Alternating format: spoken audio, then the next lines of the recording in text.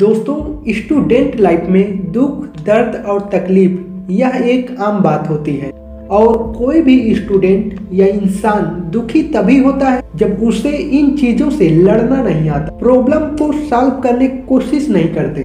तो दोस्तों, आज मैं आपको एक सच्ची कहानी सुनाऊँगा, जिसको सुनने के बाद आप भी प्रॉब्लम को सॉल्व कर बुलंदियों को छू सकते हैं, अपने लक्ष्य को, अपने गोल को प्राप्त कर सकते हैं। तो दोस्तों, यह कहानी एक बाज की है, जिसमें वह अपनी नई ज़िंदगी को पाने के लिए क्या क्या करता है, कितनी दिक्कतों का सामना करना पड़ता है उसे, जिसको जानने के बाद आपकी दिक्कतें बहुत ही छोटी लगे।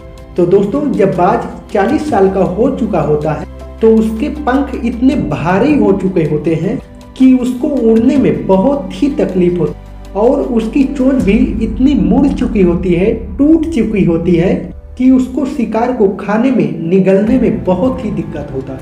और बाज के जो पंजे होते हैं, वो भी किसी काम के नहीं रहते।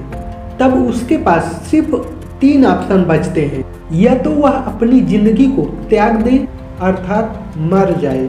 दूसरा यह कि वह गिद्ध की तरह छोड़े हुए भोजन पर निर्भर हो जाए। और तीसरा, आकाश की बुलंदियों को चीर कर उड़ने का और जो उसके उड़ने का प्रोसेस होता है, वह हमारे दर्द से कई गुना ज़्यादा दर्दनाक होता है।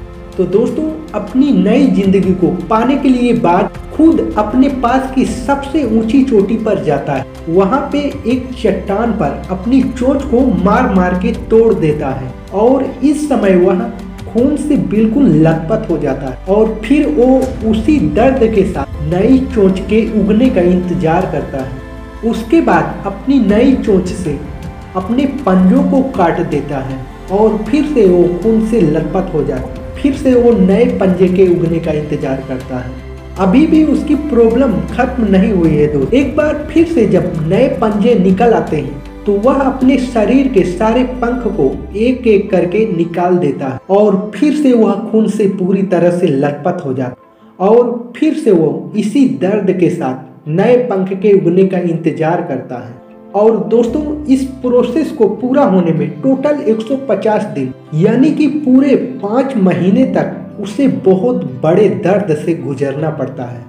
तब जाके उसे एक नई ज़िंदगी मिलती है और फिर से वो आकाश की बुलंदियों में उड़ने लगता तो दोस्तों, इसी प्रकार आप भी दुख, दर्द और तकलीफों से लड़कर अपने सपने को साकार कर सकते हो।